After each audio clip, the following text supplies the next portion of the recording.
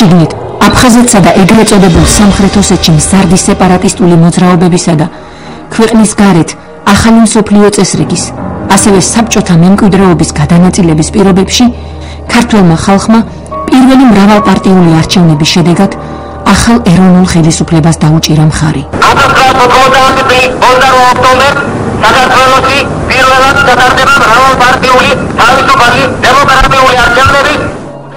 ეს ის პერიოდი იყო, როდესაც იმავე წლის 31 მარტის რეფერენდუმის შედეგად გამოცხადებული დამოუკიდებელი ქვეყნის ფულს კვლავ ლენინის თავები ეხატა და მისი საყრდენი ეროვნული გვარდიის შექმნისათვის ყოფილი საბჭოთა სამეურნეო ელიტა თანხას არიშურებდა. ამ პოლიტიკურად პასიური სოციუმიც კი რაღაც ახლისა და განსაკუთრებულად კარგის მომოდინის შეხურებდა მომავალს.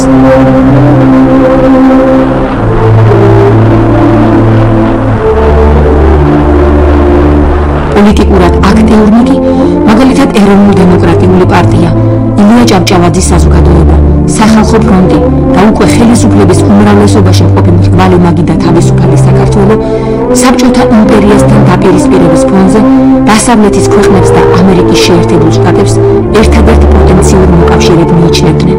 ეს არის იმპერია. როგორც პატიცემული პრეზიდენტი რეიგანი უწოდებდა მას პროლეტების იმპერია.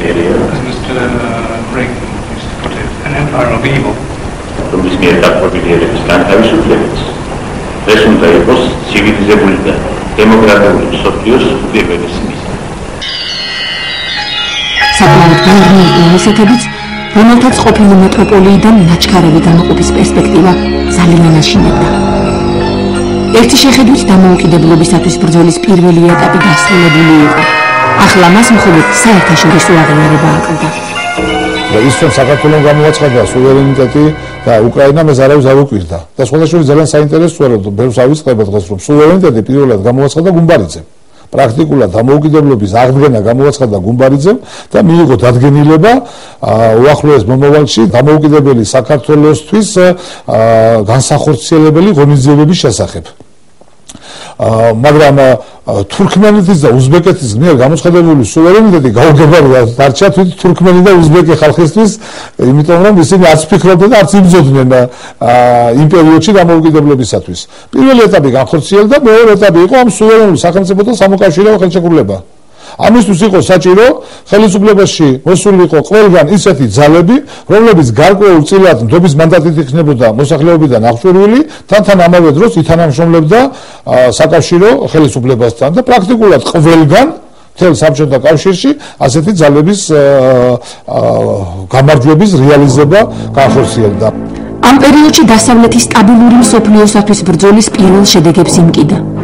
და პოსტსაბჭოთა სივრცის დამოუკიდებლობისათვის მებრძოლი რესპუბლიკების გამო მიღწეული ბალანსის დარღვევას არ ჩქარობდა.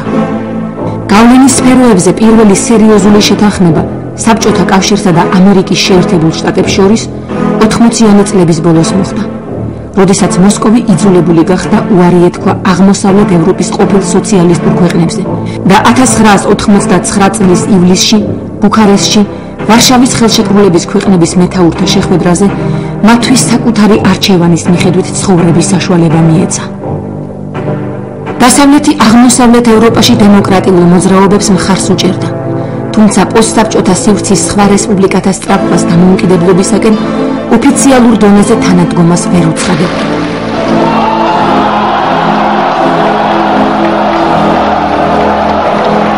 ამ ხრივ გამონაკლისი მხოლოდ ბალტიისპირეთის სამი რესპუბლიკა გახლდათ. ამავდროულად თვით საბჭოთა კავშირშიც სერიოზული პოლიტიკური ბრძოლა მიმდინარეობდა სახელისუფლებო ელიტის ეგრეთ წოდებულ დემოკრატიულ და კონსერვატიულ ბანაკებს შორის. არსებობდა სხვადასხვა ჯგუფები, ასე ვთქვათ, ეგრეთ წოდებული დემოკრატები, როგორც მაშინ უწოდებდნენ გარბაჩოვ, შევარნაძის, იაკოვლევის და სხვების მიმართულება და არსებობდა, ასე ვთქვათ, კონსერვატორები, რომლებსაც ვერ წარმოედგინათ თუ როგორ შეიძლება და საერთოდ ცხოვრება საბჭოთა კავშირში თუ წარმართველი როლი არ ექნებოდა კომპარტიას. ეს ორი ჯგუფი ერთმანეთს ებრძოდა ხელისუფლებისათვის, რადგანაც აღმოსავლეთ ევროპა პრაქტიკულად ჩამოაცილეს საბჭოთა სივრცეს, რჩებოდა საბჭოთა კავშირი და პირველ ეტაპად თვლიდნენ ასეთი სახელმწიფოს ახალ სამოკავშირეო ხელშეკრულებაზე დაფუძნებულ სახელმწიფოს და დასავლეთი ამას აქტიურად უჭერდა. მხარს და ბუნებრივია ყველანაირად ცდილობდნენ რომ შეეზღუდათ ეგრეთ წოდებული იმ კონსერვატორთა ძალები ყველგან სადაც კი ამის შესაძლებლობა ექნებოდათ და ძალიან სერიოზული მხარდაჭერა ფინანსური და ასე შემდეგ დასავლეთისგან ქონდა გარბაჩოვ შევარდნაძეს. ამ პერიოდის ყველაზე მნიშვნელოვანი მოვლენა 1989 წლის 9 ნოემბერს ბერლინის კედლის დემონტაჟი გახლდათ რომლითაც ევროპაში ახალი ერა დაიწყო.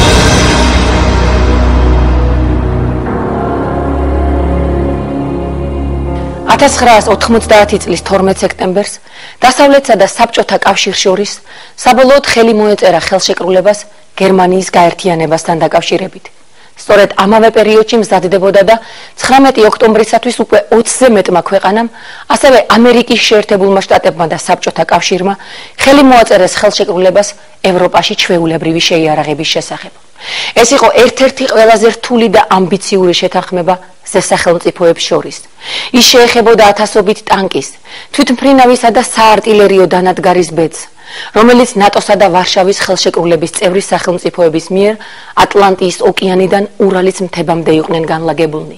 აი სწორედ ამ ფონზე, როდესაც ორი დაპირისპირებული სახელმწიფოს ურთიერთობის დათბობა სოფლიო პოლიტიკის განსაზღვრელ ფაქტორად იქცა, განსაკუთრებით მნიშვნელოვანი ახალი ეროვნული ხელისუფლების რაციონალური საგარეო პოლიტიკური კურსი გახლდათ, რომელსაც ქვეყანა საერთაშორისო იზოლაციის საფრთხისაგან უნდა ეხსნა.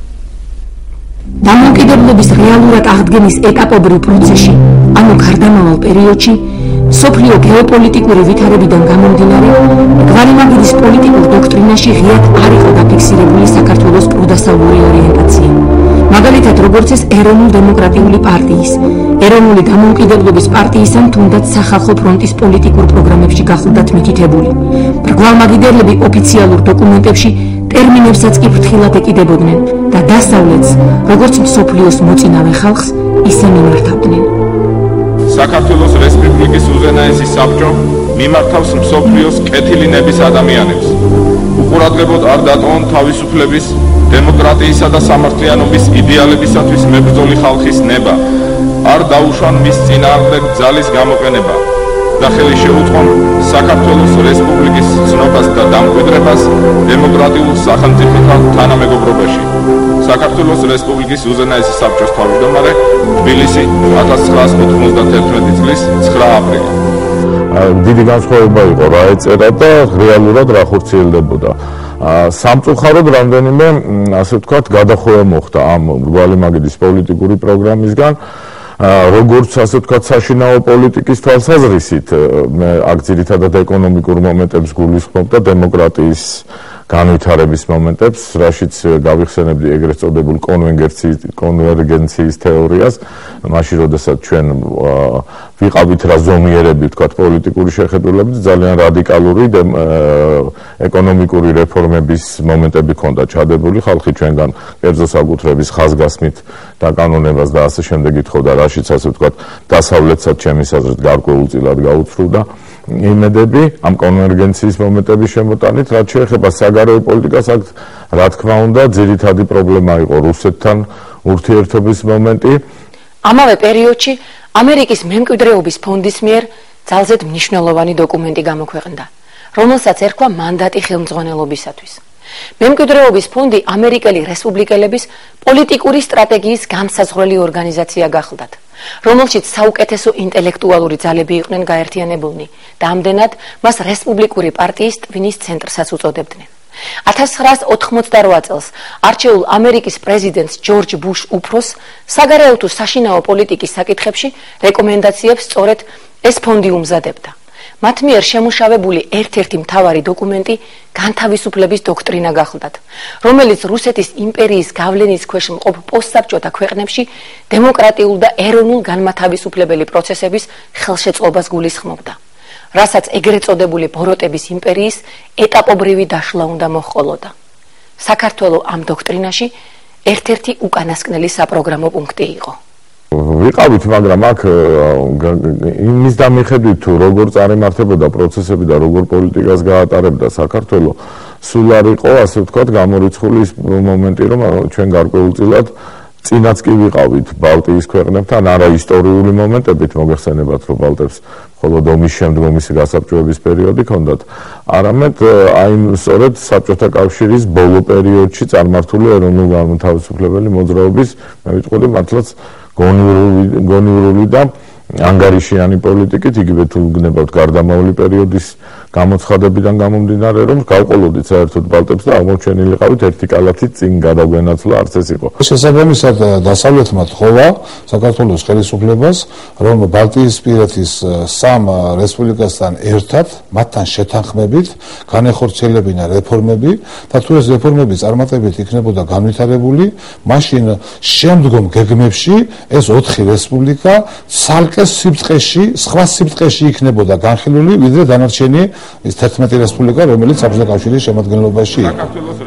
ამ დროს საქართველოს უზენაესი საბჭოს საგარეო საქმეთა კომისიის თავმჯდომარის თედო პაატაშვილისა და პრეზიდენტ გამსახურდიას პოზიცია საქართველოს დამოუკიდებლობის საერთაშორისო აღიარების ვადებთან დაკავშირებით განსხვავებული იყო. ამ პროცესს პაატაშვილი 2-3 წლის განმავლობაში ვარაუდობდა. ზიად გამსახურდია ჩხარობდა და თან ძნელი ეცით როდესაც ამხელა იმპერია იცით და აქ ერთი მხრივ ღია საზღვარი ირანთან მეორე მხრივ ღია საზღვარი ჩრდილოეთ კავკასიასთან.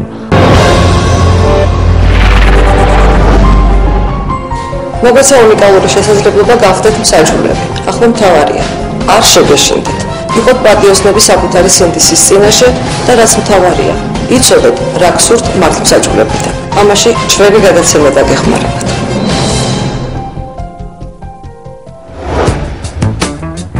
ნახევარი საქართველოს ფერმაში მუშაობს. on Facebook-ს. ვირტუალურ საფოროს მეყურე და კი რეალური მეჩემი. ამიტომ დღეიდან მთელ საქართველოს შემოვიდა. ჭკვიან წარმატებულ ფერმერებს შეხვდები. სპეციალისტებსაც გავეცნობი ტრადიციულ მეთოდებს, შევისწავლეთ ახალ ტექნოლოგიებს. ამაში ჩემი პროფესიას დამეხმარება აგროეკოლოგია. კარგი საქმეა დამიჯერეთ. შემომიერთდით და ერთად გავაკეთოთ ჩვენი ფერმა.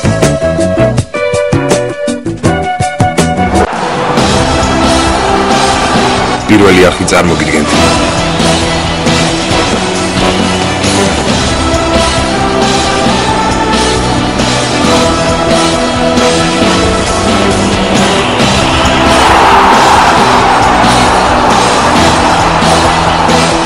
ვატიკენბერი 23 საათი და 45 წუთი.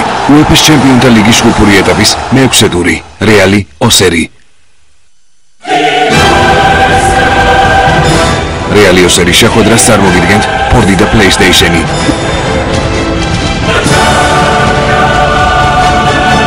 უეფა ჩემპიონთა ლიგის სპონსორები.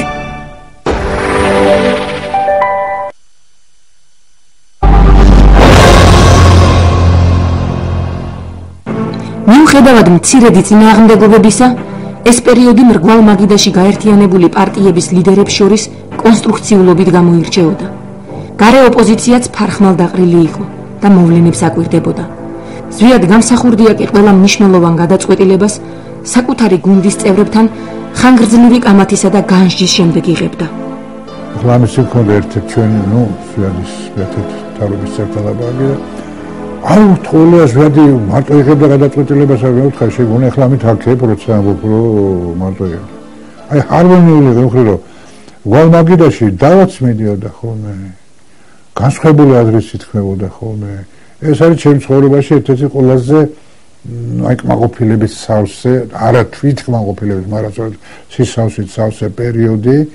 უკვე ვიდეო გლიჯინგ გლიჯინეთ რო ეთქვა. რატო? არიან ლიდერები, ესე იგი ცალკეული პარტიების ვაჟა ადამიანი არის. თემური კოლიძე, თედო პარდაშვილი, კაკო, უმეც ამ პირველ რიგში ვიყავი.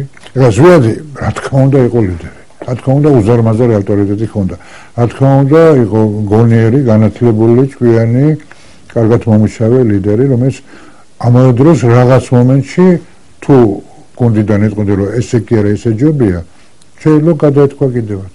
მაგალითად, შემიძლია მოვიყვანო, როცა არჩევნებზე კანონის მიღებასთან დაკავშირებით მეორე თუნდა დაეწყო ზვიად ძიძიგურს.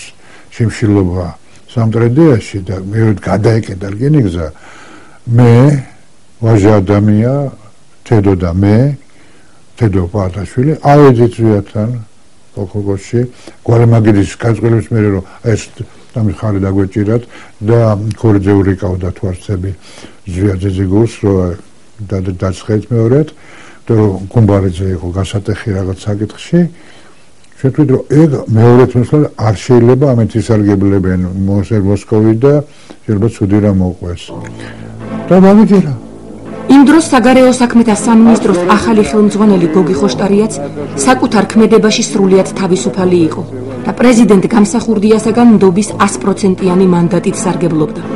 მინისტრის პორტფელის დაუფლების შემდეგ მან მხოლოდ ერთი კითხვა დასვა.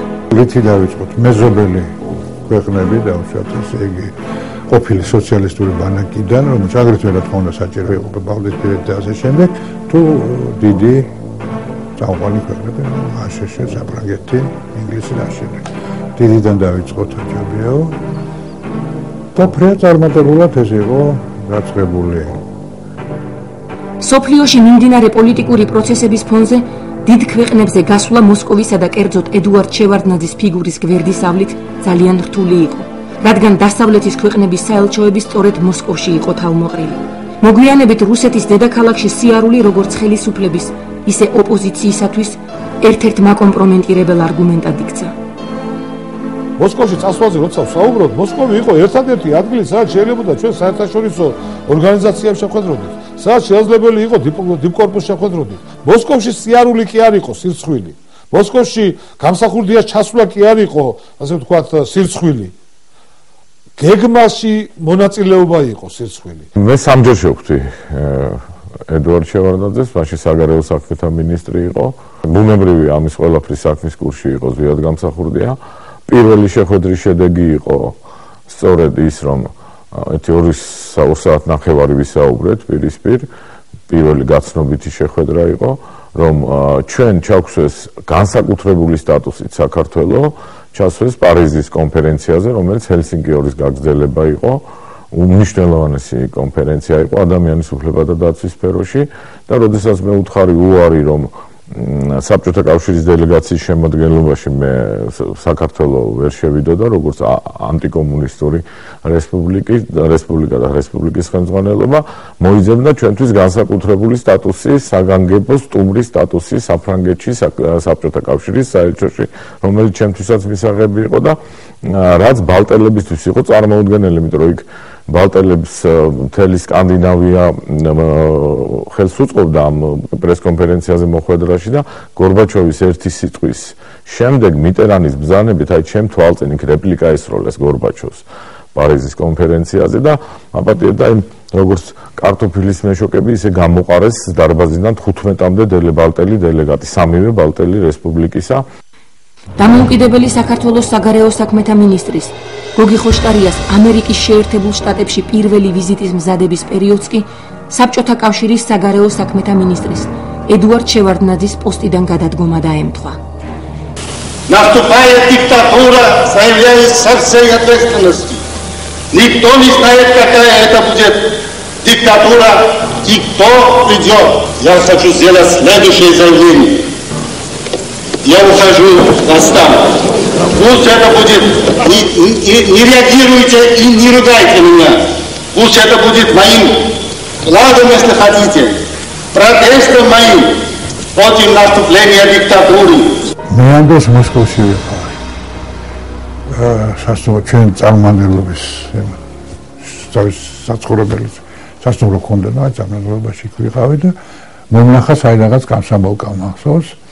და რა სიტყვითო ამ ნაბიჯზე მე უთხარი მე ხარ ჩვენს ბანაკებში ვარ ის კომუნისტია მე ეროვნული მაგრამ თვითონ ეს ნაბიჯი არის გაბედული ადამიანის ნაბიჯი. ეგრეთ თვლიდი ეხლას ეგრეთ თვლი ამის გამო მე მე ზვიადის საყდური დავიოცახული რატო შეაქი შევარნაზე მე უთხარი ხანდახან მოწინააღმდეგეც უნდა შეეხო თუ ეს ობიექტურად ესია ამ კაცმა გაბედული ნაბიჯი გადადგა თუ არ გადადგა. ეხლა რა რატომ დავეტაკოთ ეხლა და ულანძღო და რაღაცა?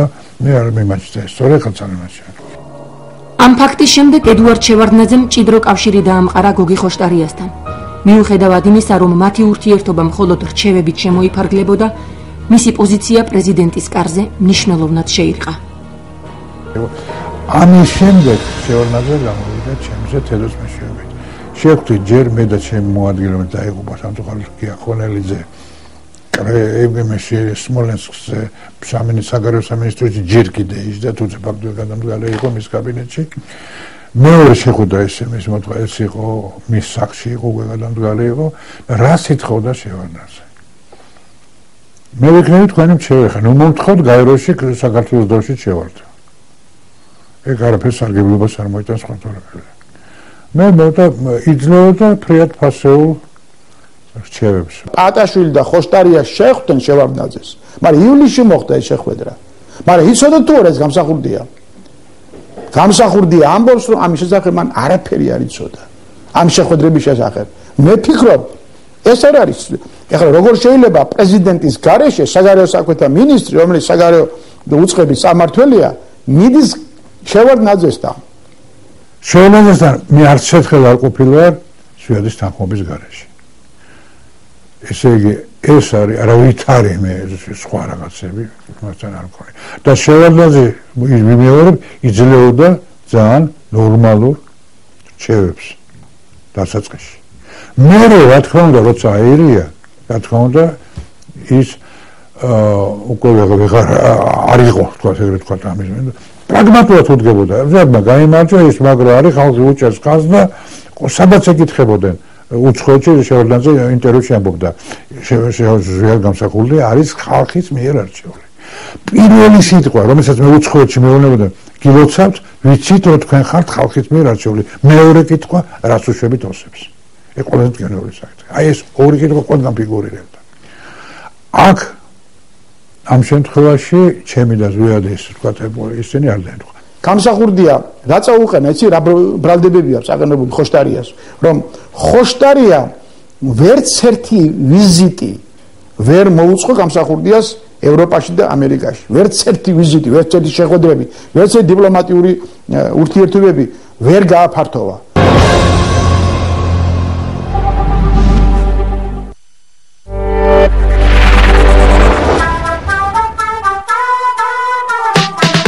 გადაცემაზე მუშაობისას აღმოჩნდა, რომ მოამრავი გამზარდება საქართველოში. ვერ წარმოვიდგენდი, რომ ყველაზე მარტივი ნივთის წარმოება ასეთი საინტერესო პროცესი იქნებოდა. დარწმუნებული ვარ, ყოველი ჩვენი გადაცემით მაყურებელი ბევრ ახალსა და საინტერესოს აღმოაჩენს.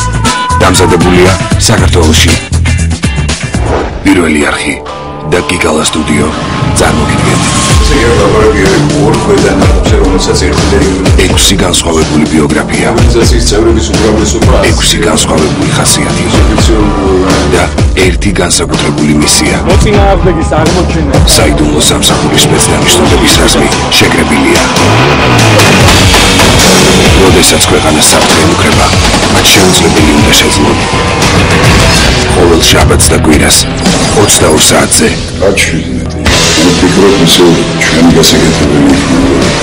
საქართველოს გულისთვის ყველაფერს დავაკეთებ მეც და შენც. პირველად საქართველოში პირველი ქართული სამხედრო სერიალი გაჩვიდმედი პირველ არხზე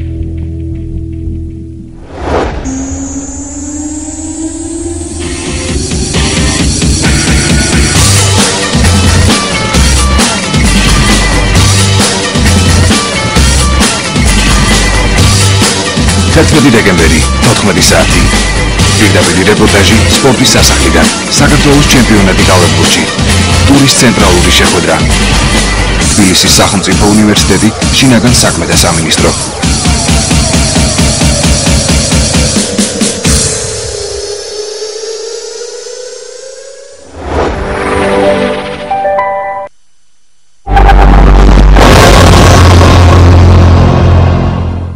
ოცდაათიან წლებში და დღესაც პრეზიდენტ გამსახურდიას ოპოზიციაც, თანაგუნდელებიც და ისტორიკოსებიც აქტიურად მსჯელობენ შევარდნაზე გამსახურდიას შესაძლო ალიანსზე. საინტერესოა როგორ განვითარდებოდა მოვლენები ხალხის ნდობით აღჭურვილ დამოუკიდებლობისათვის მებრძოლ ლიდერს და საერთაშორისო აღიარების მქონე გავლენიან ფიგურას, რომელიც პოლიტიკურ და ძალაუფლების ტექნოლოგიებს უზადოდ ფლობდა თავიანთი გაერთიანებული ძალისხმევა მართლაც ამ ქვეყნის აღმშენებლობისათვის რომ მიემართათ. ისტორიკოსები და მოვლენათა ეპიცენტრში მყოფი ადამიანები ადასტურებენ, რომ შევარდნაძეს გამსახურდიას ხელისუფლებაში საგარეო საქმეთა მინისტრის პოსტზე შეთავაზებაც კი ჰქონდა. მაგრამ თქვენ ფიქრობთ შევარდნაძე გამსახურდიას პერიოდში აბსოლუტურად განსხვავებული არიან ესენი სხვადასხვა ტიპის მოღვაწეები არიან, სხვადასხვა ხასიათის მოღვაწეები არიან, სხვადასხვა გაგების და ხედვის მოღვაწეები არიან. ისინი როგორ შეთავსებოდნენ ერთმანეთს და როგორ შეიძლებოდა რომ გამსახურდია საგარეო საქმეთა მინისტრი გამხდარიყო შევარდნაძე? ეს პატრიოტკაც შეეძლო გაეკეთებინა დაეძლია თავის ამბიციები და დამდგარიყო მაგრამ არ გააკეთეს ეს. შემოკარგო და ქონდა შეთავაზება. მე გეტყვი თქვენ. ნამდვილად ქონდა შეთავაზება მიდიოდე კიტოვანიც იყო მასთან კიტოვანი იმიტომ ჩავიდა გამსახურდიას გაგზავნილი რომ აი გაეროში წევრად რომ ეცნო მსოფლიო საქართველოს და გაეროს წევრად მიიღოთ საქართველოს. არ მოხდა მის გაკეთება.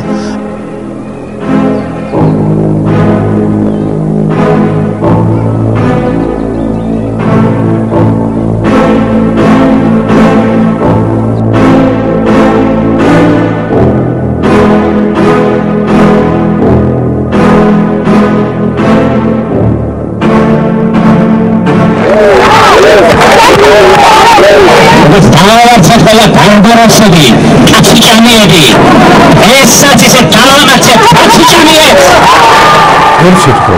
მე მანძავთ. მ სამწუხაროდ ეს ხოც არიცებოდა. ასე იმის მე ეს თვითონ მეუბნებს ვიაცხარ რომ აი აი ესეთი კარგია ჩვენ და ჩვენს გავჩვენოთ, რომ რაღაც ქელა უნდა არაფერი გავჩვენოთ. ერთ კვირაში გამოვიდა სტატია აღარ მახსოვს აღარ გულამპირა და ეს თუ ვიღაცას იყო სადაც შევლაზაც ესე ესე მე მე ვიეთერა მე კაც დავპირდა რა რასაკეთე მის მე ჩემთან შევთანხმებლად გაკეთდა ნარვიც რატო არ მოხდა ამ ორი აშკარად? სოფლიო მნიშვნელობის ყოველ შემთხვევაში საქართველოსთვის ორი გრანდიოზული ქართველის ასე ვთქვათ, თანამშრომლობა. სამწუხაროდ აი რაღაც პატარ-პატარა და უგებრებებმა, აი ხო გითხარით პირველი შეხვედრის შემდეგ, როდესაც მე პარიზიდან დაბრუნდი, აქ დამხვდა გამოქვეყნებული საკმაოდ ისეთი ბინძური სტატია ერთ-ერთი დეპუტატის მიერ საქართველოს რესპუბლიკაში მაშინ და მთავარ გაზეთში რაზეც მე აღშფოთითი და უთხარი ზიაც რა ხდება თუ ლაპარაკობთ ამ ყასთან მაშინ ეს სტატია რაშუაში და დაიბეჭდა ამისი ასე ვთქვათ მეორე დღესვე გამოქვეყნდა მინაწერი რომ ეს არის კერძო ერთ-ერთი დეპუტატის აზრი და არა ვთქვათ უზენაესი საბჭოს მთლიანად. თუმცა შემდეგ და შემდეგ რაღაც მოკლედ ძალებმა რომელშიაც მე აგენტურასაც ძალიან დიდ მნიშვნელობას მივანიჭებდი. ყველაფერი გააკეთეს იმისათვის რომ თქვათ ამ ოპერონება შორის საერთო ენა არ გამოძებნილიყო და ნელა გართულდა გართულდა და გართულდა ეს ურთიერთობები. რის შედეგადაც იმის მაგურად რომ აი ეს ორი ფიგურა ასე ვთქვათ ერთიანი ძალით საქართველოსთვის თქვენ რამე სასიკეთო და ძალიან მნიშვნელოვან სასიკეთო მომენტებს ის კეთებას დასგომა და პირიქით ერთმანეთს დაუპირისპირდა და სამწუხაროდ ქვეყანამ ამით ძალიან ძალიან ბევრი იზარალა და დამსახურდიას და ხელისუფლებისა და შევანაძის თანამშრომლობა ძალიან მჭიდრო იყო იმ პერიოდში. ძალიან მჭიდრო თანამშრომლობდნენ, პრაქტიკულად არ დარჩენილა ხელისუფლებიდან არც ერთი წარმომადგენელი, რომელიც საათობით და თვეობით არ ყოფილიყო შევანაძის ოფისში და მისგან არ მიიღო რჩევები და მითითებები და დავალებები და აქტიურად უწყობდა ხელს შევანაძე ამ პროცესებს. იმ უბრალოდ მიზეზის გამო რომ შევანაძე გარბაჩოვის იმ მოდერნიზაციის გეგმის ნაწილი იყო და მას სურდა რომ საქართველოს ხელისუფლება სწორედ ამ მოდერნიზაციის ამ გეგმაში ჩაერთო და შესაბამისად ჭირდებოდა მას საქართველოს ხელისუფლების მხარდაჭერაც ამ გეგმის რეალიზებაში.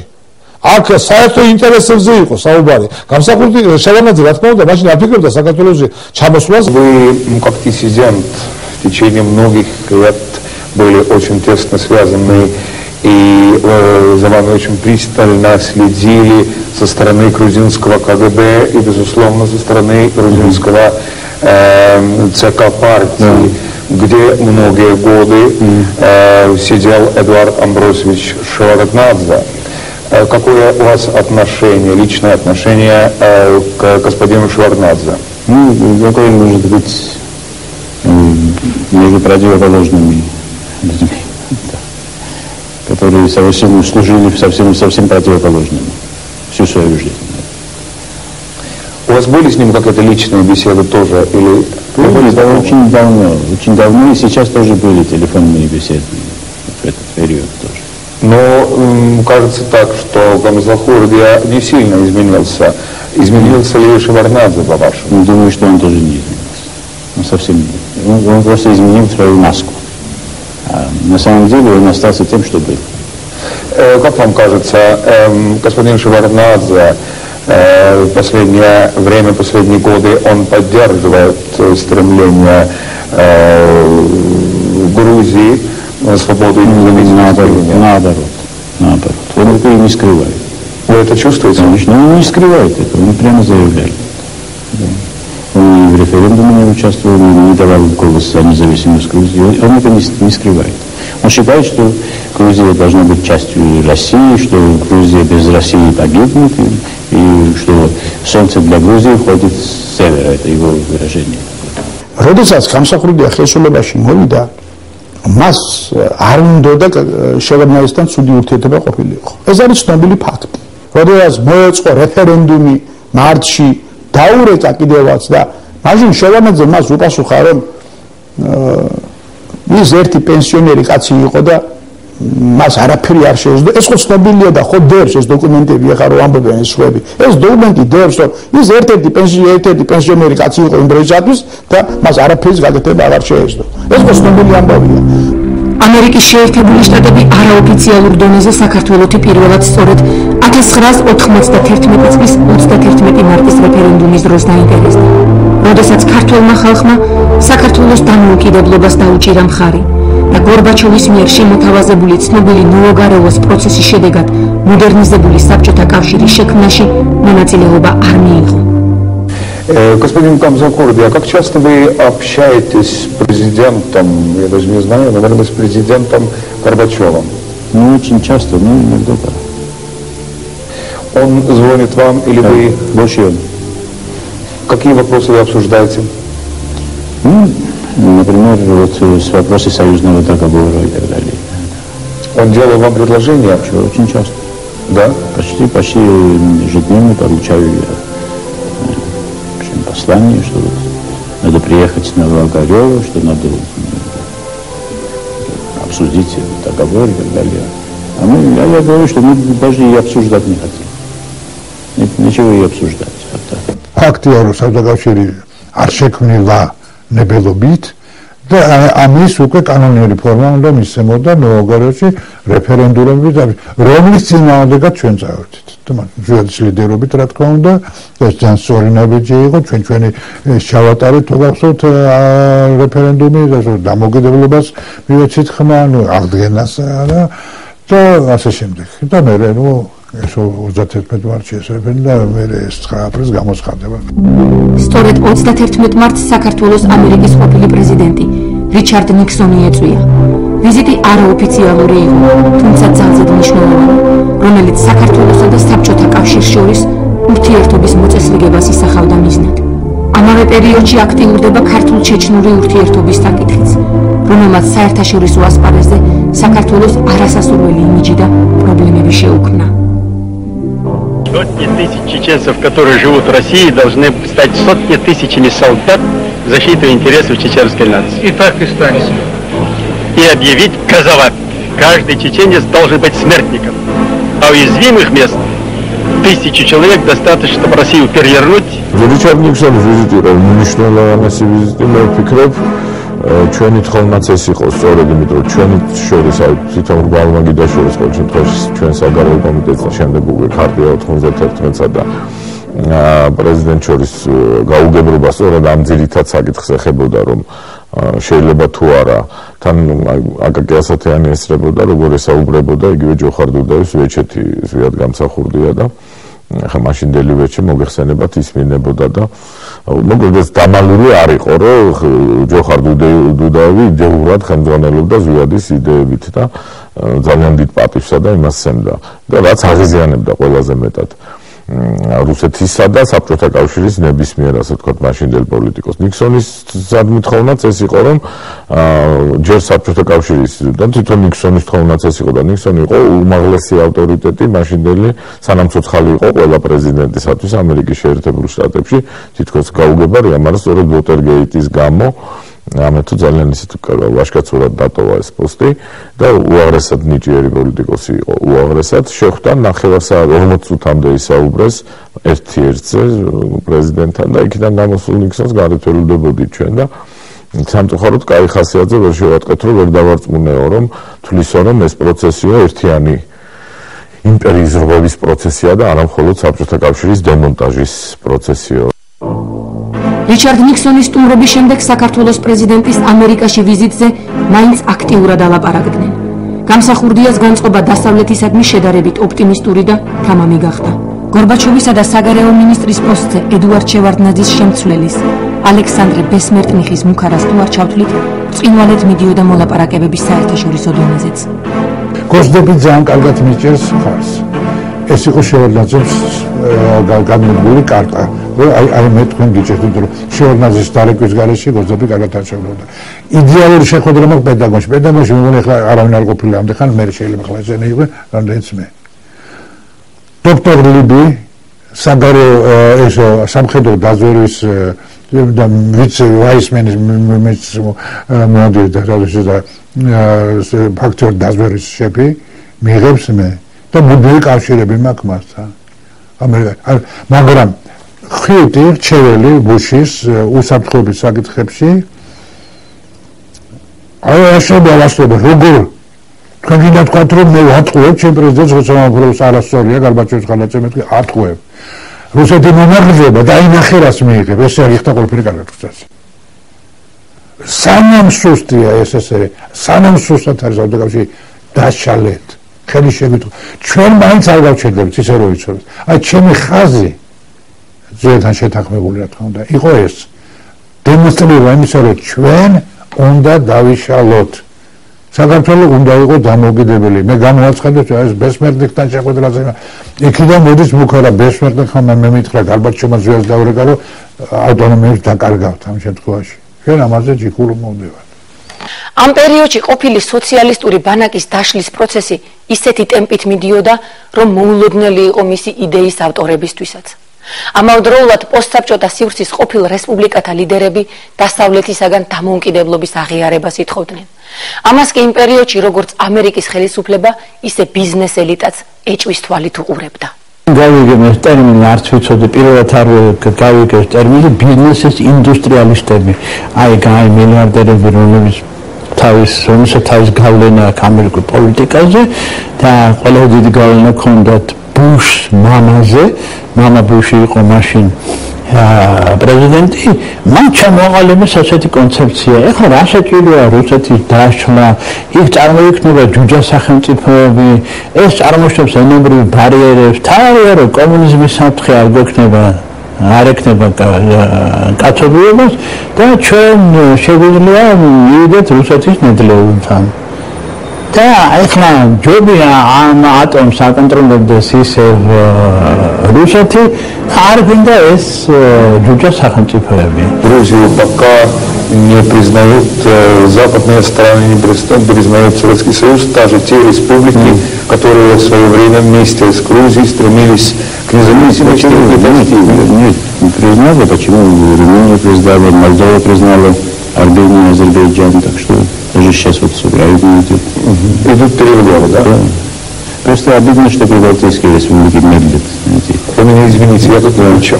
Да, ну вообще обидно очень, потому что мы вместе прошли этот путь. И если бы Грузии не было, вообще ни Прибалтика, ни Восточная Европа не получили бы если 9 апреля не было. Да, безусловно. ჩვენი ერთ-ერთი შეცდომა მე ამას გულწრფელად ვამბობ შეცდომას ხანახან მინდა რომ ჩავსვა ბჭყალებში რადგანაც ეს იყო შეცდომა მინდა რადგანაც ამაში მე ვაქცევ ნდობის ფაქტორს ესე იგი ჩვენ ვენდებოდით ამ დასავლეთს რადგანაც ჩვენ გვეგონა რომ ეს იდეოლოგიური ბრძოლა რომელიც მიდიოდა კომუნიზმსა და დასავლურ ცივილიზაციას შორის პრაქტიკულ გამოხატულებას იპოვიდა რაღაცა საქმეში. 1991 წლის აპრილში საფრანგეთში ოფიციალური ვიზიტის შემდეგ დამოუკიდებელი საქართველოს საგარეო საქმეთა მინისტრი წერდა არავისთვის საიდუმლო არ არის რომ დასავლეთი თავისი პოლიტიკური ინტერესებიდან გამომდინარე უფრთხის საბჭოთა კავშირში მიმდინარე პროცესების დაჩქარებას მას აშინებს იმ ძროების მასშტაბი რომელიც შეიძლება გამოიწვიოს ამ ხელის სახელმწიფოს დაშლამ. ამიტომ არიდებს თავს საბჭოთა კავშირის საშინაო საქმეებში ჩარევას და იმ საბაბით რომ უპირატესობას რეფორმატორულ გზას ანიჭებს მხარს უჭერს გორბაჩოვის პოლიტიკას. ასეთია ევროპის ოფიციალური კურსი. არსებობდა არაოფიციალური პოზიციაც. თუმცა იმ პერიოდში დასავლეთის ლოგიკურ ინერტულობაზე საშიში საქართველოსათვის კრემლში ელიტის ცვლილების მზაკრული თამაშები აღმოჩნდა 1991 წლის 19 აგვისტოს დილის 6 საათზე საკავშირო რადიომ გამოოგნებელი ინფორმაცია გადმოსცა მიხეილ გორბაჩოვის დაწყებულმა პერესტროიკამ ქვეყანაში დემოკრატიული პროცესის დაწყების ნაცვლად საფრთხემის არსებობას შეუქმნა სახელდახელოდ შექმნილი საგანგებო სიტუაციათა სახელმწიფო კომიტეტი გეკაჩეპე პოსტსაბჭოთა სივრცის 6 რეგიონს საგანგებო მდგომარეობით დაემუქრა. რუსეთის პუჩს საბჭოთა ძალოვანი მინისტრები ხელმძღვანელობდნენ. Я не скрываю, что я коммунист. Я не хочу выходить из партии, менять партийный билет, как это модно для некоторых. Я хочу работать в интересах моего многострадального народа.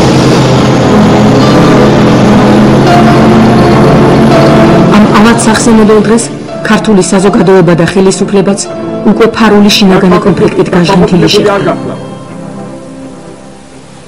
მე ახლა გაგაცნობთ ერთ ძალიან მნიშვნელოვან დოკუმენტს,